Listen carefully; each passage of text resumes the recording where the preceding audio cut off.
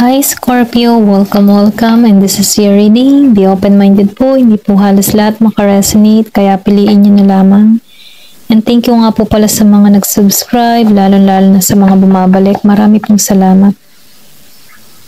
Excuse me po. Ayan, start na tayo. Medyo ako'y inaantok, kaya pasensya na po sa boses ko ah. Give me the message for Scorpio. Ano yung mensahe sa'yo? Ayan. Meron ka ditong Ace of Sword, okay? Makikita ko dito, no? Meron kang mga bagong idea na pumapasok sa isip mo. Na kung saan itong mga bagong idea na ito ay patungo sa tagumpay. Meron ka ditong King of Pentacles. So, nagpapahiwatig talaga na may tagumpay na naghihintay sa'yo dito sa King of Pentacles. Kung ikaw man isang businesswoman, businessman, ano, nakikita ko dito yung papabor sa'yo yung swerte, nakikilala yung iyong gawa, dire-diretso yung dalo, yan o. Kung hindi pa man nakikita or nakikilala ng tao yung iyong mga gawa, dun ka patungo, no? magtiwala ka lang at manalangin. Sa ganun, ano, dire-diretso, walang imposible sa dasal. Then nakikita ko rin dito, no, ikaw yung tipo ng tao na good provider. Kumbaga sa pamilya nyo, hindi mo hinahayaan na magutom yung mga anak mo, kung ikaw man may anak, yung family mo, okay? Kasi binibigay mo yung mga pangangailangan nila sa abot ng iyong makakaya. Ayan, give me more information. Meron ka ditong King of Swords. So, nahihitaan ko rin dito, no? Kasi, kaya ka nagka, nagiging matagumpay dito kasi malinaw yung pag-iisip mo eh. Alam mo yung mga desisyon na gagawin mo. Alam mo yung mga hakbang, ano? Kumbaga, alam mo yung plano. Ano, alam mo yung vision mo. Meron ka mga binivision dito para ma-receive mo to, okay? Kasi napaka-business minded mo. Ito lang nakikita ko. Then, logic ka din mag-isip. Marami kang ideas na pumapasok dito sa Ace of Swords. May authority ka pa. Okay? Ito lang nakikita ko. Matalino kang tao. Kaya kung bakit ka nagiging matagumpay dito. Then, nakikita ko dito may mensahe or good news na parating sa'yo. Ayan. Meron ditong Page of Pentacles. So, nakikita ko rin dito, no? Yung iba sa inyo may potential. Kung ikaw man ay hahan hahanapin mo yung hilig mo or kung ano man yung gusto mong mangyari o marating, meron kang potential na magtagumpay, okay? Kung pag-iisipan mong mabuti kung saan ka magaling. Dahil nakikita ko rin dito, no, may mga plano ka, may mga gusto kang mangyari o maganap sa buhay mo. Then yung iba sa inyo, no, kung naghahanap ka ng trabaho, meron parating na bagong trabaho sa iyo. Okay? Kasi practical ka eh. Practical ka ding tao. Maybe sa larangan ng pag-ibig, practical ka. Hindi ka masyado din natuon sa love or sa tibok ng puso, no? Mas practical ka. Mas gusto mo yung mga kasundo mo.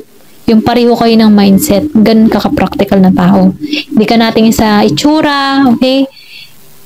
Natin ka ay doon sa mga kasundo mo. Yung pareho kayo. Pareho kayo ng pag-uugali. Ayun, ito lang nakikita ko. Give me more information. Ano pa yung mensahe sa'yo? Then, meron ka ditong Wheel of Fortune. So, nakikita ko dito yung pagbabago. Malaking pagbabago sa buhay mo. Kung nakikita ko rin dito, no, destiny mo tong pagbabago. Kung ikaw man nahihirapan ngayon, biglang may pagbabagong darating sa'yo. Oportunidad na darating sa'yo. Hindi mo to asa aasahan na dire-diretso yung daloy ng blessing patungo sa'yo. Kasi nakikita ko rin dito na swerte ka, meron kang hatid na swerte sa sarili mo or pwede na sabihin, meron ditong good luck na parating sa'yo. Ito na yung nakikita ko. Ayan. Me more information. Ano pa yung mensahe sa'yo? So, meron ka dito na two of sword reverse. So, sinasabihan ka lang dito, no, na kailangan mo ditong uh, magdesisyon. Kung meron ka mang pinagdidesisyonan or nagiging ka dito, maisip, okay, meron ka ditong pinag-iisipan, ano, i-relax-relax mo muna yung kaisipan mo dito sa two of swords. Kasi makikita mo eh, makikita mo yung sagot, okay? Kung ikaw man eh, sobrang isip sa mga problema mo, kung may problema ka mang tinatahak, yung iba sa inyo, no, malalaman mo yung kasagutan dito sa mga problema mo at malalampasan mo to, okay? Kung ano man yung mga kinakaharap mo, kung bakit ka nagiging overthinking dito, malalampasan mo to, okay? Give me more information. The star, lumabas ang the star. So, nakikita ko rin dito, dahil hindi ka nawawala ng pag-asa eh, talagang ikaw ay may faith. May pananalig ka. Dahil doon sa pananalig mong yan, yan yung magdadala sa'yo sa tagumpay. Kasi nananalig ka eh, nagtitiwala ka sa taas.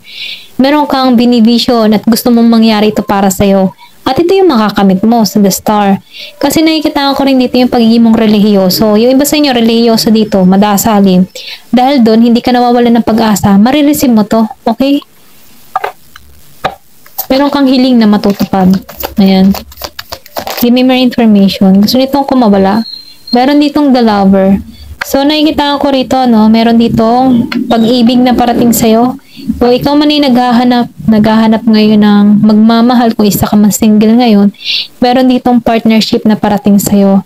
Then, kung ikaw naman ay nasa malayo, no, nasa LDR situation kayo, nakikita ko dito yung pagkikitang muli, okay? Kung madalas makita yung 11-11, nagpapahiwatig, te, nagpapahiwatig na ito na malapit na kayo magkita or pwede rin sabihin iniisip ka ng tao na ito, okay?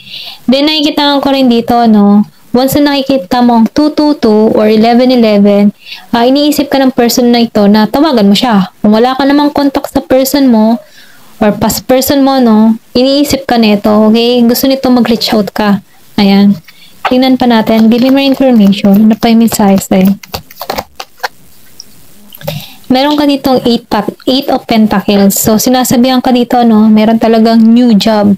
New job na parating sa inyo. Yung iba sa inyo, no, meron ditong bagong trabaho.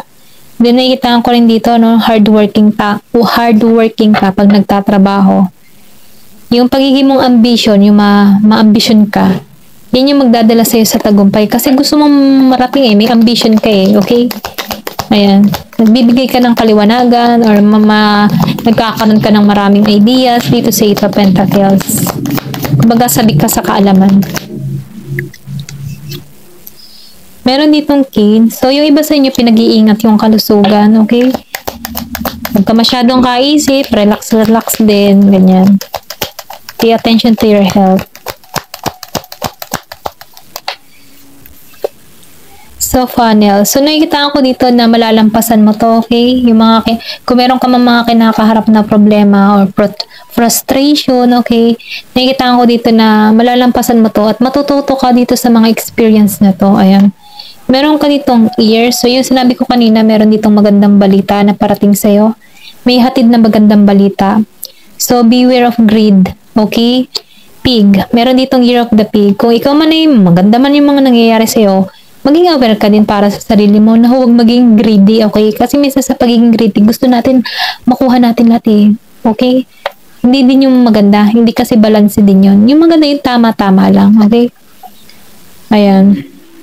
Minsan kasi yung pagiging greedy, yun din yung nagtutulak sa atin para mapahamak tayo. Ayan. Give me more information needle and thread. So, nakikita ko dito, sa pagiging mong sincere sa mga gusto mong mangyari o marating sa buhay mo, lahat ng pangarap mo ay matutupad. Okay? Masasakatuparan to. Give me more information. Meron ka ditong vulture. So, mag-ingat ka din, ano, dahil sa mga maraming blessing ka na receive dito, meron din talagang tao na hindi may iwasan na merong inggit na nadarama. So, pag-ingatan, ano, uh, wag ka, wag ka rin masyadong kaisip kasi pwede ka maging, magkaroon ng balisa sa pag-iisip mo eh. Kaya iwasan yung pag-iisip ano. Then dino, dito, money pot.